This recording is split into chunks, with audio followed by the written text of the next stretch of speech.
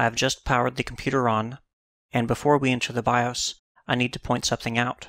This is what is generally called a BIOS information screen. The information goes by very quickly, so I've pressed the pause break key on the keyboard to pause it. Pressing any other key will unpause it. This motherboard's BIOS information screen is a little less useful than most. It only shows the speed the memory is running at. Most BIOS information screens will also show the amount of memory, along with the CPU model and the actual frequency it's running at. All very useful information when you're overclocking. Just about all motherboard makers cover this information screen up with a logo screen. There is a key to press, typically Tab, to hide the logo screen and show this information screen. But you have to hit Tab every time you want to take a look. And a lot of the time, the information you need is gone before the Tab command takes effect. The first thing we're going to do in the BIOS is make sure the logo screen is turned off. I'll press any key to continue, and on this computer, I need to press Delete to enter the BIOS setup. On some computers, it's the F2 key to enter the BIOS. This is the BIOS main menu. It has several menu choices laid out on one common page that take you to different sections of the BIOS. Here's another common main menu layout with its menu choices at the top of the screen. Just about every motherboard maker uses one of these two layouts. These videos are concentrating on overclocking, so we're not going to get into most of these options. The Home PC Builder videos have a video that covers the BIOS in general, and it's lesson 1 of the computer setup lessons. The logo screen setting in this BIOS is under Advanced BIOS Features, called Full Screen Logo Show, and it is disabled so it won't come up. On other BIOSes, it can be found under Boot and Boot Settings Configuration. The default is enabled. You can select it and disable it. I'll hit the Escape key on the keyboard to get back to the main menu. In this BIOS, all of the overclocking related settings are in the Motherboard Intelligent Tweaker, or MIT. Most BIOSes have a section like this. ASUS calls theirs the AI Tweaker, and MSI calls theirs Cell. If your motherboard doesn't have a section like this, or you can't find the options you see here in your BIOS, then you won't be able to overclock the CPU. This is fairly rare these days, but just to be on the safe side, before you buy a motherboard, go to the motherboard maker's website, download the motherboard's manual, and look for these settings. Next, we're going to find and disable the power saving features, quiet and cool, and C1E support, so we have full control over the speed of the CPU. I'll hit escape. And in this BIOS, the power saving features are under Advanced BIOS Features, and here C1E support is enabled, I can either press Enter and change it to disabled, or I can use the page up and down keys on the keyboard to switch the option. Quiet and Cool is set to Auto, which the default is on, and again I can either press Enter to disable it, or use the page up and down keys to toggle. We need to make sure the CPU fan and system fan are always running at 100% speed. I'll hit Escape to go back to the main screen, and in this BIOS, and in most other BIOSes, the fan speed settings are under PC health status. If we scroll down, we find CPU Smart Fan Control. I'll use page down to disable it. If I go down a little bit further, I have System Smart Fan Control, and I'll disable it as well. I'll hit Escape to go back to the main menu. Let's go take a look at the overclocking related settings. I'm just going to cover the settings we will be changing. The others are fine at their defaults. The CPU clock ratio is the CPU multiplier. The CPU north bridge frequency is the multiplier used to control the CPU cache and memory controller. CPU host clock control is the reference clock speed. The HT-link frequency controls the speed the hypertransport bus runs at. Set memory clock allows us to change the memory multiplier.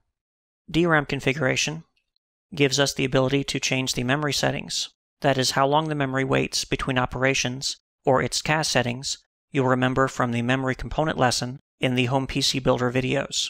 We can also set the reference clock speed and the memory multiplier here. These settings are mirrors of the ones on the main MIT screen. We'll hit Escape to go back to the main MIT screen.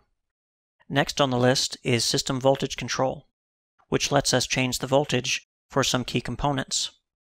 The ones we're interested in are DRAM voltage control, which controls the amount of voltage going to the memory, CPU NB voltage, which controls the voltage going to the CPU cache and on-chip memory controller, and the CPU voltage control, which controls the voltage going to the CPU cores.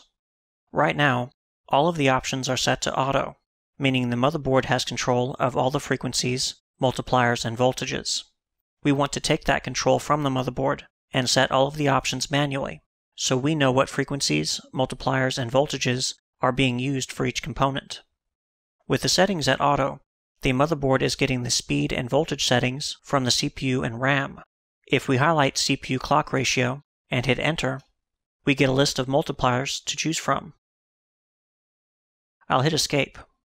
You'll remember that the CPU speed, which here is 3200 MHz or 3.2 GHz, is derived from the reference clock times a multiplier. If we work backwards and divide 3200 by 200, we get 16, so the multiplier being used is 16. We can go in and manually set the multiplier. And the CPU speed is still 3200 MHz. We can do the same for the CPU North Bridge frequency. 2000 divided by 200 is 10.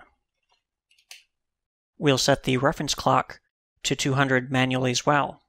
The HT-Link frequency is 2000 MHz, and again 2000 divided by the reference clock gives us a multiplier of 10. The memory clock is automatically set to 1333 MHz but our RAM is actually capable of running at 1600 MHz. It's getting the 3233 MHz speed from the multiplier of 6.66 times the reference clock of 200. This is fairly common for the BIOS to set the RAM speed to the next lowest available speed, just to make sure the system will boot up. I'll change it to manual and increase the multiplier to 8x. 8 times the reference clock, which is 200 MHz, gives us 1600 MHz. I'll go into the DRAM configuration and set the CAS timings manually as well. Change the DDR3 timing items to manual, and I know by looking at my RAM specs that the timings should be 9, 9, 9, and 24. You will need to look at the specs for your RAM to find its CAS timing settings. If you have 1333 MHz RAM, set the multiplier accordingly. We'll leave the rest of the settings alone and hit escape to go back to the main MIT screen. For the system voltage control, I'm going to change it to manual. This sets all of the options below to normal, which means default. I'm getting a flashing message above that the system voltage is not optimized. What this means is that the motherboard does not have control to change the voltages automatically. This is where we need them so we can begin overclocking. Before we do that, it's a good idea to save these settings. We could press F10 to save and exit, but it's best to save these permanently. So after we make changes to the settings and want to get back to the way they are now, we can quickly load them. Most BIOSes have a configuration saving feature. I'll hit Escape, and down at the bottom right, I see I can hit F11 to save CMOS to BIOS. I'll hit F11, and there are eight profiles we can save to. I'll call this one default. Now if I hit escape to go back and go into the MIT and change the CPU multiplier to 15, hit escape and press F12 and load the default profile, hit escape and go back into the MIT, the setting is restored to 16x. This will be very useful as we do various tests while overclocking. Once we have an overclocking result we like, we can save it and always have it to come back to. Next, in Lesson 4, we will get started overclocking by finding our motherboard's maximum stable reference clock speed.